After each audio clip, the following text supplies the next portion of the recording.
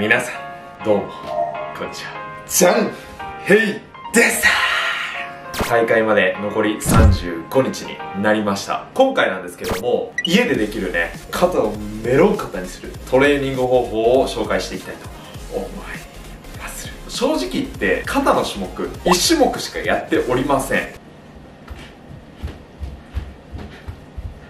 サイドレイズです。サイドレイズ以外にもプレス系の種目も結構出てくるんですけど自分ねちょっとプレス系の種目であんまりそのパンプ感を感じれなくてやらなかったんですよ。なのでサイドレイズだけで鍛えた肩になります。だけど最初のねフォロと比較するともうみかんからメロンくらいに変わってるんですよ。どういった風にねサイドレイズのみでここまで大きくしていったのかっていうのを今回紹介していきたいと思います。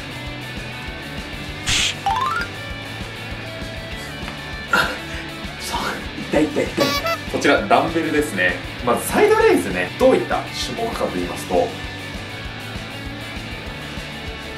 空飛んじゃうよみたいなね。普通に、まあ、握ってもらって手の小指ですね。小指をこう外側にこう広げて肩を意識して肩で持ち上げる。腕は使わないんですよ。ほぼ脱力した状態で肩に力を入れて肩で持ち上げる。軽い重量肩でいいんで肩の部分を押してあげながら持ち上げると肩に入ってるのが分かるんでこの感覚をつかみながら重量を上げていくと。やり方が分かんないとか肩に入らないとかそういった人っていうのは共通してることがありましてこの肩を持ってきた時に前腕この腕を使っちゃってるんですよ。それからこの肩のね僧帽筋を使ってる人とかもいると思います。その間違ったやり方っていうのはこういう人ですね。先にこっちが上がっちゃってる。結構これ本当に多くの人がやります最初。肩から持ち上げてその後に腕がついている形そうすると大体こう45度くらいの位置で終わる。